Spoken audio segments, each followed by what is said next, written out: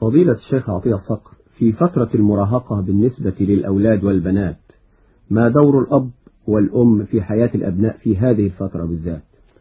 في دور المراهقة وغيرها الأب والأم مسؤولان عن الأولاد مسؤولية كبرى لأنهم في مرحلة الانتقال من فترة غير مسؤولة إلى فترة مسؤولة فلا بد من الحكمة مع التعاون في إعدادهم لتحمل المسؤولية بعد بلوغهم.